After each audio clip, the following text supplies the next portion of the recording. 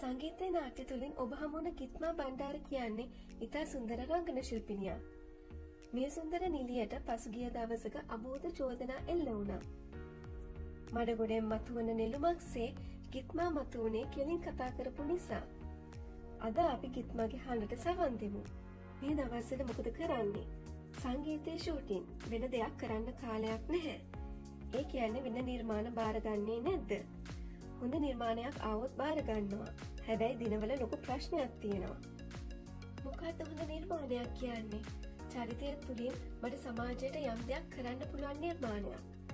සිනමාවට ආරාධනා ලැබුණේ නැද්ද. ආරාධනා තියෙනවා තම භාරගත්තේ නැහැ. මම තාම පුංචි නිලියක් තාම ඇවෙත් සුළු කාලය. සිනමාව ගැන හදාරලා තම එතනට යන්න ඕනේ. එතකොට ලැබෙන ආරාධනා කීපයක් ප්‍රතික්ෂේප කලා මට හුඟක් කාලය මති නිසා. එක නිර්මාණයක් ගැන හිතේ තියෙනවා. ඒක ලබන අවුරුද්දෙ කරනවා. මොකද මට ගැලපෙන චරිතයක් වෙන්න ඕනේ. මුලින්ම කැමරාවක් ඉදිරියට ආපු දවස මතකද? වෙළඳ දැන්වීමක් සඳහා තමා මම මුලින්ම කැමරාව ඉස්සරහට ආවේ. නිලියක් වෙන්න හීන දැක්කද? නැහැ. මගේ යාළුවෙක් කිව්වා ඇඩ එකකට කට්ටිය ගන්නවා. එනවද කියලා. මමත් කියා පළවෙනි ස්ක්‍රීන් ටෙස්ට එකෙන්ම පාස් වුණා. අහම්බෙන් ලැබුණු අවස්ථාවක්. දීත්මක් කොහෙද?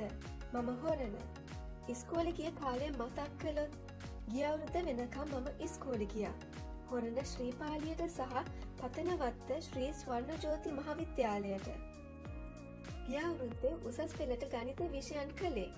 මම හිතන්නේ ඒක තමා මගේ ජීවිතය අරගත්තු වැරදිම තීරණය. මොකද මගේ හිතේ තිබුණා කලා කරන්න. නමුත් මැත්ස් කරලා පොඩ්ඩක් පස්සට ගියා. ඒ කියන්නේ ඉස්කෝලෙදි කලාවට දක්ෂද ඕ හොඳට චිතරන්දින්න පුළුවන්. ක්‍රීඩාවලට යනවා. නිවේදන කටයුතුවලට මම උපරිමයෙන් දක්ෂයි දැන් පස් තැවෙනවද? අපූ නැහැ. මොකද මේ සැරේ මම ආයමත් උසස් පෙළ ලියනවා. මේ පාර මම තෝරා ගත්තේ කලා විෂයන් දැන් පන්තියනවද ඕ මහරගම පන්තියනවා කෝම හරි විභාගී ගොඩදාගන්න ඕනේ. එතකොට රංගනය ඒකත් කරනවා. ටියවෂන් යන අතරේ දෙකම කරනවා. චතුරිකා මිසුයි නිලන්ත සෑර්ලි මට ගොඩක් උදව් කරනවා. අනාගතය කුමන පැත්තද තෝරගන්නේ. කොයි පැත්තට කියත් අධ්‍යාපනය කියන දේ හරිම වැදගත්. අධ්‍යාපනය ජීවිතයට ආවරණය අනාගතයට ඉතුරුවා. කෝම හරි ටික්‍රිය ගන්නවා. ඉගෙන ගන්න කාලේ රඟපානවට ගෙදරින් විරුද්ධ වුණාද. මම කිසි දෙයක් මගහරගන්නේ නැති නිසා ගෙදරින් විරුද්ධ වනේ නැහැ. ඒ මොකද මම ගැන ලොකු විශ්වාසයක් එයාලට තියෙනවා. කොහොමද කමර්ශල් එකක් කරලා නිලියක් වුණේ. අවුරුදු කුමරිය වුණා. එතනින් තමා අවස්ථාව ලැබුණේ.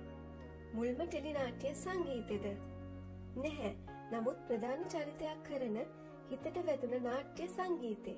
ඒක පුදුමාකාර අත්දැකීමක්. සංගීතය මැද්දේ ගලා යන ජීවිතය හරිම සුන්දරයි. ඔබ සංගීතය රසවිඳින කෙනෙක්ද. ඔවු මම ගීතවලට ආසයි. ලවන් කියන ගීතවලට මම හුඟක් කැමති මොකද මේ දවස්වල මගේ කනට වැඩිය නැහෙන්නේ ලවන් කියන ගීත තමයි. ඔයාගේ උස ගැන ප්‍රශ්නයක් තියෙනව නේද? මම පහයිත් දෙකක් උසයි. උසමදී නේද? කොට උනාට මාර කිව්ට් මම ආසයි මගේ උසට. මම මුලින්ම රඟපෑවේ ආස් මාලිකා චිත්‍රපටයේ.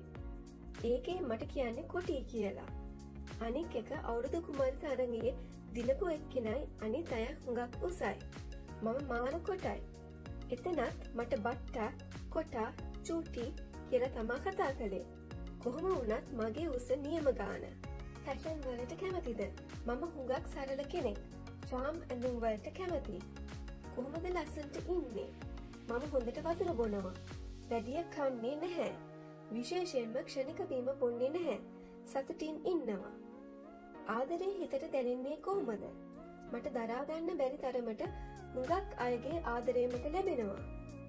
ඔබට ආදරය කරන විශේෂ කෙනෙක් නැද්ද? තාම නැහැ. හැබැයි සැරිය සැරේ මගේ හිත සසල වෙන අවස්ථා තියෙනවා. ඒක මම හිතේම හඟ ගන්නවා. මොකද තව ටික කාලයක් ඉන්න ඕනේ. තාම ජීවිතය හතරෙන් එකයි ගෙවුණේ මම අවුරුදු අසුවක් ජීවත් වෙන්න බලාගෙන ඉන්නේ. ඒ ඉතුරු අවුරුදු හැට සතුටින් ඉන්නඕන නිසා තාම තීරණයක් ගත්තේ නැහැ. ඉදිරියේදී හොඳ කෙනෙක් මුණ ගැහෙයිනේ. පසුගිය කාලේ ඔබගේ ඡායාරූප අන්තර්ජාලයට එකතු වෙලා ඔබට ලොකු ප්‍රශ්නයක් වුණා නේද? ඕ ලොකු කලකිරීමක් දැනුණු දවසක්. ඇයි එහෙම දෙයක් වුණේ? මට කලකිරීමක් දැනුනත් මම ඉවසගෙන උන්නා කෙනෙක් ජනප්‍රිය වෙනකොට මඩ එනවා. නින්දා පහසෙනවා මට එරෙහිව බලවේගයක් ක්‍රියාත්මක වෙනවා කියන පනිවිඩියම් මට ලැබුණේ මේ මඩ ප්‍රහාරය හරහා. ඔබ කියන්නේ ඒක බොරුවක්ද? අනිවාරයෙන්ම. ඒක බොරුවක් කියන මුළු ලංකාවම දන්නවා. මොකද ඒක හරිම බාල වැඩක්. බාල වැඩවලින් මිනිසු රවට්ටන්න බැහැ ඔබට මේක ගානක්වත් නැද්ද? මුලින්ම ගණන් ගත්තා. හැබැයි පස්සේ මට තේරුණේ මේ පුංචි කෙල්ලව අභියෝගයක් කරගත්තු පිරිසකුත් ඉන්නවනේද කියලා. ඒ අය මා පහලට දානකොට අනිත් පැත්තෙන් මම ඉදිරියට එනවා මිනිස්සු පහර දෙන්නේ ලොකු පොරවල්වලට මමත් ලොකු පොරක් නේද කියලා මට හිතුණා. ඊට එරෙහිව ක්‍රියාත්මක වෙන්නේ නැද්ද.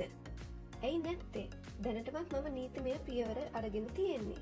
මගේ ජනප්‍රියතාවේ දරාගන්න බැරි පහත් පුරවසයක් කවුද කියලා ළඟදිම දැනගන්න ලැබේ. ඔබ වෛරයෙන්ද කතා කරන්නේ. නැහැ අනිකයි නේද මට වෛර කරන්නේ.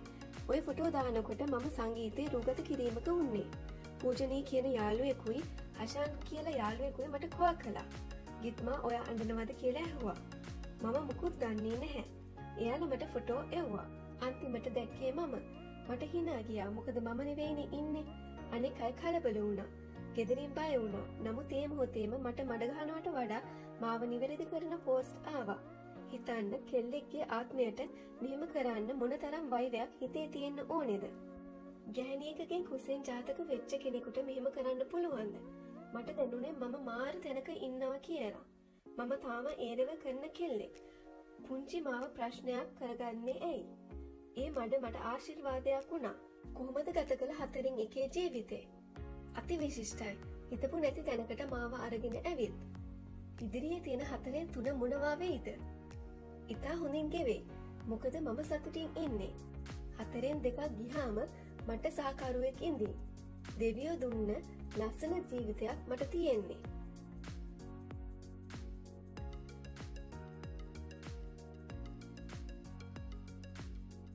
මෙවැනි වීඩියෝ දිනපතා නැරබීම සඳහා අපව සබස්ක්‍රයිබ් කර වීඩියෝ දාපු සැනින් දැර ගැනීමට ඒ සමඟ ඇති සීනුවන් කලික් කරන්න.